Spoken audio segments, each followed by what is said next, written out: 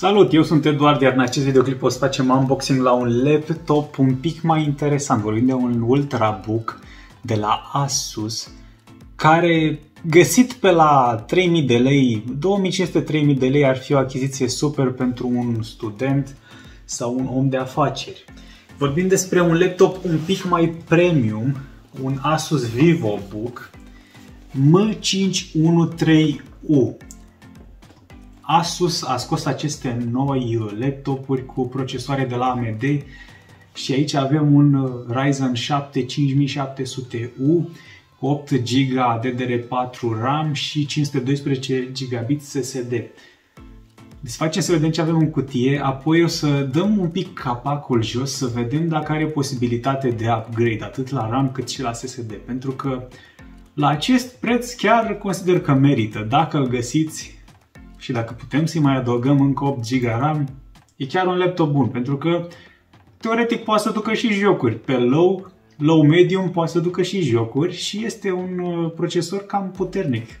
Cam puternic, destul de puternic exact pentru jocuri cu placa video integrată de la AMD și pentru Office și încă nu l-am desfăcut, dar din ce am văzut pe net arată destul de bine. Hai să vedem ce avem în cutie. Bun, înainte să-l desfac, vreau să precizez ceva. Aveți grijă la chestiile astea, da? De-aia ne bucurăm că sunt ambalate bine, dar de-aia trebuie să fim și atenți când primim un produs. De data asta am considerat că este în regulă, dar în general vă recomand că dacă primiți un produs care arată de genul ăsta, să aveți grijă. Mai ales dacă vorbim de televizoare sau uh, de lucruri care au display-ul uh, mai aproape de marginea cutiei aveți mare grijă. Hai să vedem în cazul ăsta dacă la noi e vreo problemă, chiar dacă sunt sigur că nu e nicio problemă. Să deschidem cutia. Și se deschide în sus, dacă nu mă înșel. Așa. Ce avem aici? Vedem laptopul deja care are un material de promovare pe, pe, pe el lipit. Da, interesant alegere Asus câteva cărticele, nu le citim și pe lângă asta ce vedem noi aici, am observat că au mai pus uh, la laptopurile de gaming așa ceva. da, drăguț din partea lor. Da, astea, astea sunt preferatele mele. Astea, da, interesant. Nu strică, nu strică Asus, nu strică. Mulțumim. Bun. Ce mai avem? După cum putem observa, mai avem un strat de carton, da, chiar dacă e îndoit aici cutia, mai avem un strat de carton. Deci laptopul este în siguranță. Ce mai avem aici? Alimentatorul care este tot așa finuț, cum ne place nouă și are, câtă putere are, ia să vedem, 65 de W. Bun. E ok, e decent. Hai să vedem laptopul. Ce ne-a lipit nou Asus pe laptop? Oh, deja pot să vă zic că se simte foarte premium. Nu vorbim de plastic, vorbim de... Hm? Sau e plastic? Nu e plastic, asta e aluminiu. E foarte rece, e foarte premium. Ok, da. Acum înțeleg de ce se laudă ei cu materiale de promovare, pentru că aceste laptopuri vin cu un display OLED și bineînțeles că trebuia să se laude și un pic pe, pe laptop.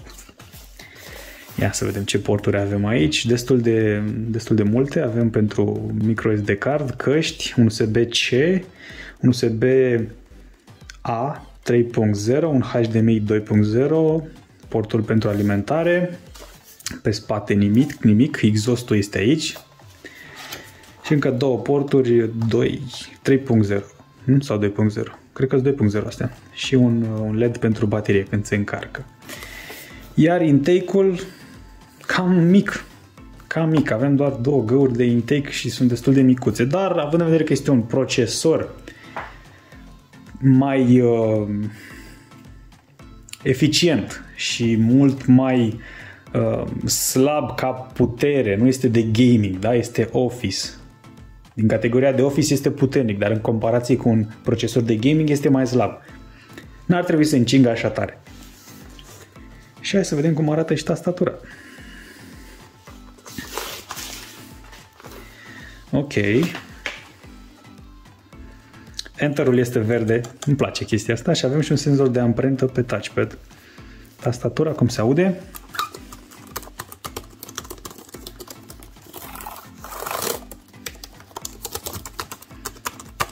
Da, e o tastatură ok.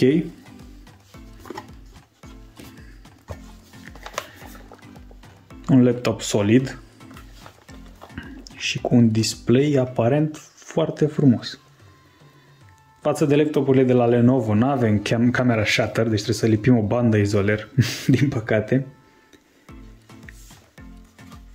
Și altceva, altceva special, altceva special nu pot să vă mai zic acum.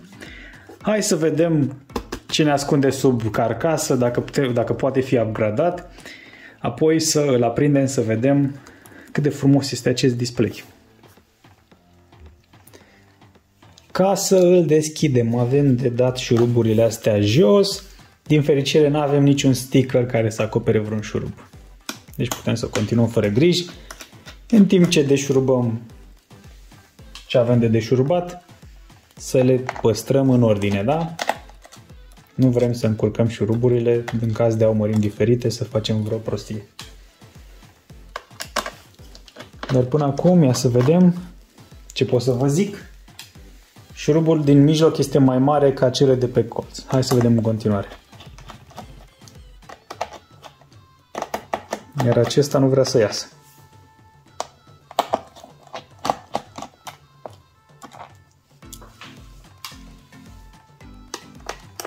Ia să vedem, acesta iese. Acesta a ieșit.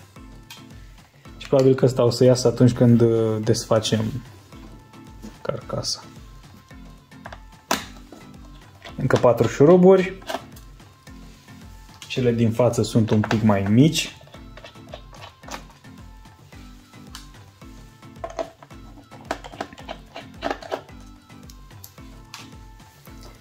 Încă unul. Ok. Ia să vedem, ăsta tot nu vrea să iasă. Nu. O să iasă atunci când desfacem laptopul. Imediat, imediat. Hai să vedem. Începem de la un colț sau dintr-o margine și vedem dacă putem să-l desfacem.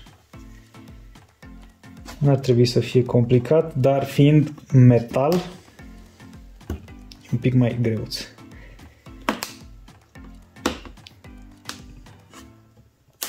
Hmm. Ia să vedem.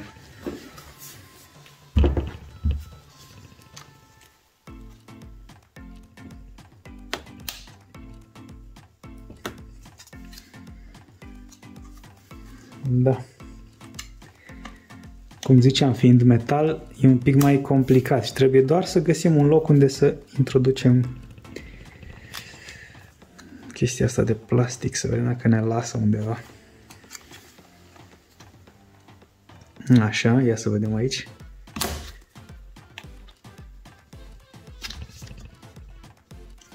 Nu vrea. Eh, s-a și rupt. Dacă nu vrea, trebuie să scoatem ceva mai puternic. Ok. Metalul pe metal în cel mai rău caz. Apelăm la el. Dar în cazul ăsta se pare că e nevoie.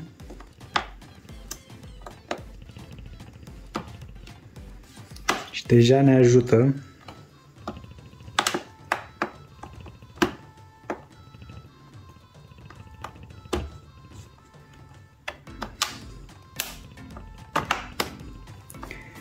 Deja am reușit. Bun. Deci e denotat la acest laptop trebuie să fim un pic mai forțoși pentru că altfel nu se deschide neam. Dar după ce am început să-l desfacem putem să continuăm fără probleme. Hai să vedem Cum arată laptopul nostru? O baterie de 42 de Wh, Ia să vadă mai bine. Așa. Bun. Ce putem să observăm? Avem un loc liber pentru plăcuță RAM. Înseamnă că avem 8 GB sudați pe placa de bază și putem să mai adăugăm o plăcuță de 4, 8, 16, poate și 32 de GB pentru a mări memoria RAM, ceea ce este super. Avem un SSD și pe el un thermal pad, ceea ce e super, deci acesta poate fi upgradat, schimbat și așa mai departe și placa de rețea aici. Are locul pentru un SSD SATA 3 sau un hard disk, dar nu vine cu kitul de instalare și probabil că dacă am vrea să punem ceva aici ar trebui să desfacem și această bucată de metal. Și aici este locul unde s-ar conecta Ia să vedem bine. Aici este locul unde s-ar conecta presupusul SSD sau hard disk. Sistemul de răcire pare decent.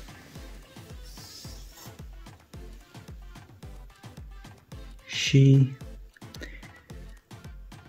cam atât. Aș fi preferat ca acest loc să fie ocupat de baterie, să fie o baterie mai mare. Dacă tot există, măcar dacă era o baterie mai mare. Văd în vedere că este un laptop până în 3000 de lei, nu pot să mă plâng foarte mult. Pentru că este un laptop premium până la urmă. Hai să punem uh, carcasa la loc și să vedem cum se comportă în teste.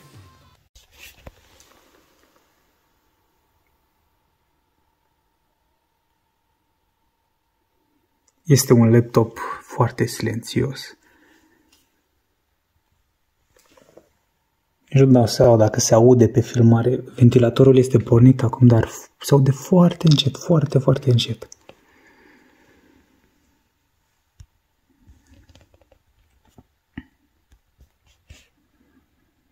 Trebuie specificat că vine cu această partiție. O partiție de 5 GB unde sunt toate driverele necesare.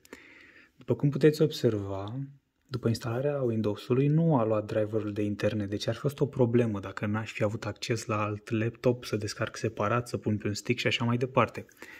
În cazul ăsta avem aici toate driverele și instalează singurel tot ce am nevoie. E destul să dau câteva clicuri și după aia aș face treaba singur. Da. Bun, am văzut cum arată laptopul pe dinăuntru, pe din afară. Acum să vorbim puțin despre cum se comportă el. Hai să încep cu chestiile care nu mi-au plăcut. Da, se încălzește. Se încălzește mai mult decât aș fi vrut eu. Ceea ce nu este neapărat o problemă, doar că poate în timp nu prea puteți să stați cu el pe picioare. Aveți grijă, dacă îl țineți la birou, vă recomand să-i luați un cooler sau dacă stați într-o încăpere rece, nu aveți nicio problemă. Bun. Deci, în primul rând, se cam încălzește. Ok, să zicem, majoritatea se încălzesc, deci asta nu e nicio problemă. Dacă nu ajunge la 100 de grade, nu-i capăt de țară. Bun, a doua problemă, bateria. Mi-aș fi dorit să fie mai mare. Chiar dacă e o laudă un pic aici pe laptop, pot să vă zic că într-o, într-un scenariu favorabil de căutat pe nevizionare vizionare filme, ține de undeva, undeva între 3 și 6 ore.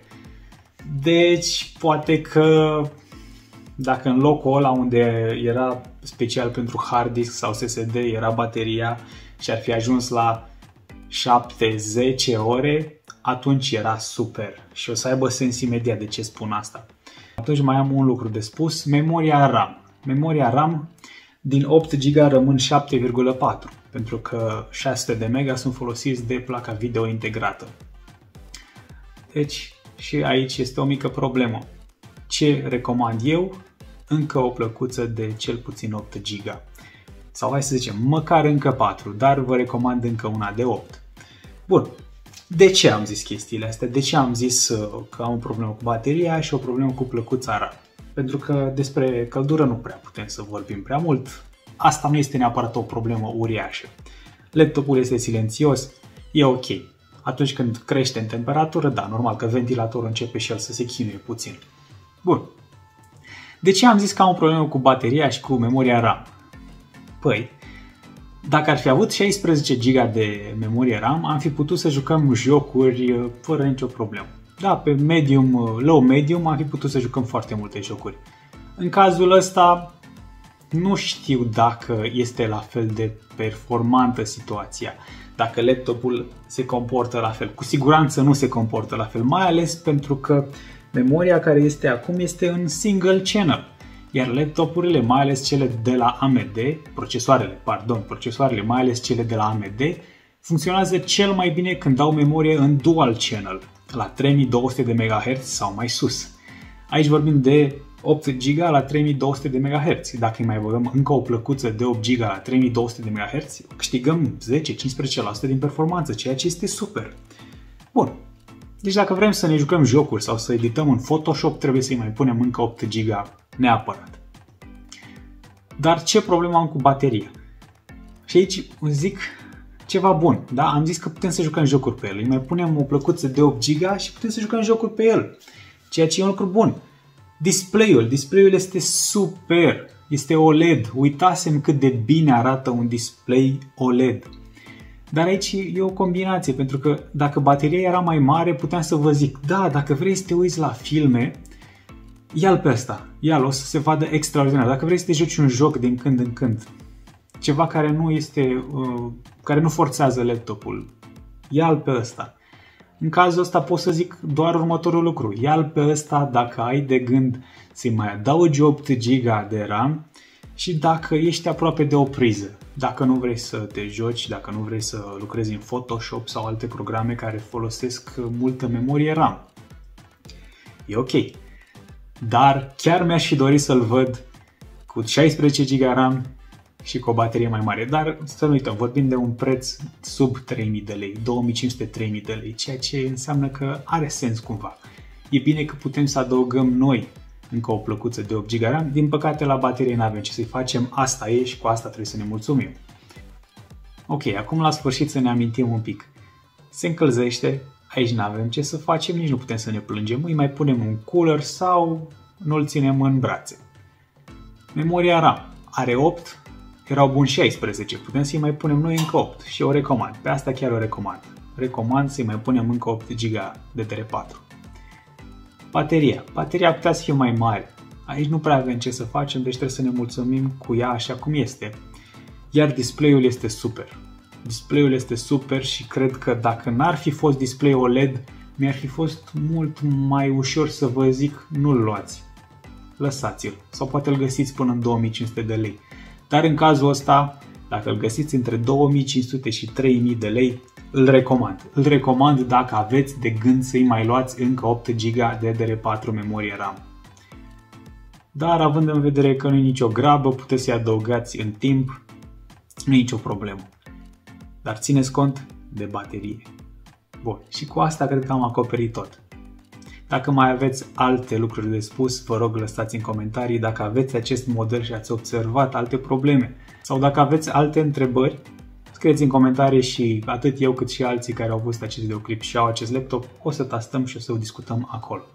Laptopul în momentul ăsta este 3000 de lei la EMAG, la reduceri poate îl vedem și pe la 2800 și în timp cu siguranță o să ajungă și pe la 2500 dacă Asus continuă să producă acest model. Bun, era să uit, un lucru, un detaliu important, aveți grijă de display. Pentru că dacă îl spargeți, e foarte scump să schimbăm un OLED, e mult mai scump decât un LCD. Și cu asta am spus tot, spor la cumpărături pe data viitoare. Salut!